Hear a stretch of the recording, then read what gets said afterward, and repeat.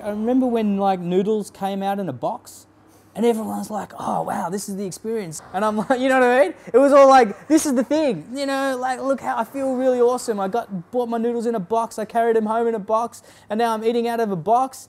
It's like, yeah, like I get it, that's funny, and that was an experience, but really? Like, what about if they are shit noodles? So the truck is the truck is just a means for me to get around and, and, and do things in a lot of different ways. By no means does a food truck certify the food, you know? Yeah. It, the food has to certify itself.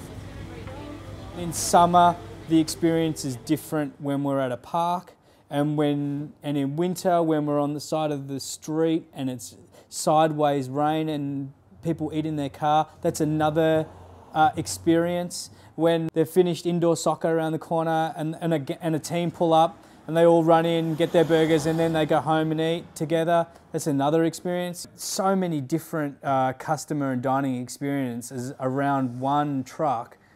Uh, that's that's what it's that's what it's there for, you know. I still enjoy more than ever someone coming up and just going, "Oh, I've driven past this for years. You know, I've never stopped." I couldn't fathom eating from something like this. To break down those those kind of connotations, it's or those um, thoughts has been really it's really encouraging.